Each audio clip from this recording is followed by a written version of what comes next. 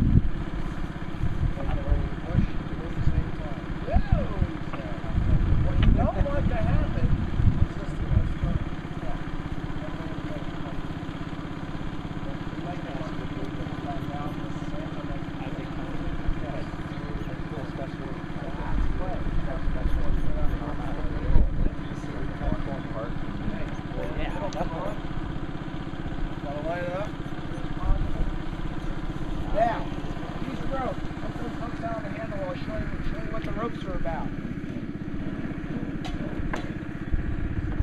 The main reason for the ropes, What happened to it? okay? The guys on the ropes, He's here. step back away a little bit from the edge of the trench, straight back behind. That's it. On three, pull. Ready? One, two, three. You see how that sounds? Lift it up. You let down. Uh, you let down. Pull up. Okay, you let down. There you go. Now center down. Center.